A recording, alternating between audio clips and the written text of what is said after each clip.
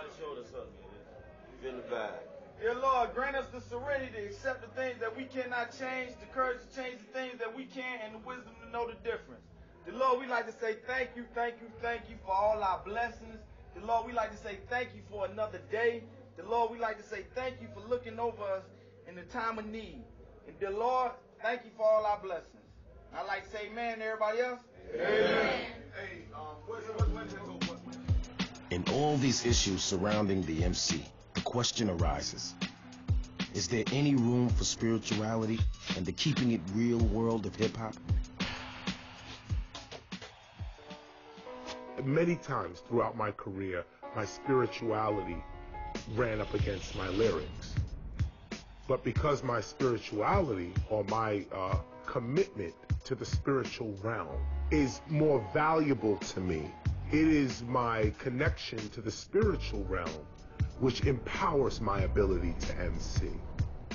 Well, yeah, I think there's a certain level of guilt to being a rapper like me. I always had the thought, like, you know, this guy mad at me for these raps, you know?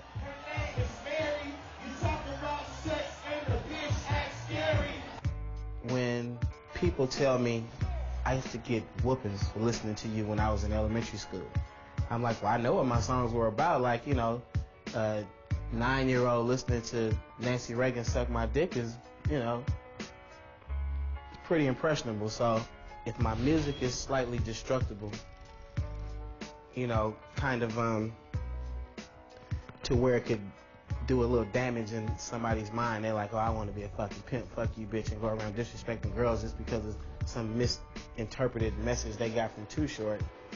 Um, you know, I kind of deal with it in my own personal peace, get by getting my own personal peace.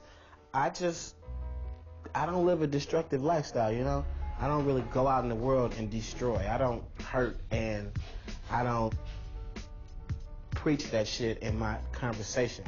My spiritual development grew faster than my artistic output.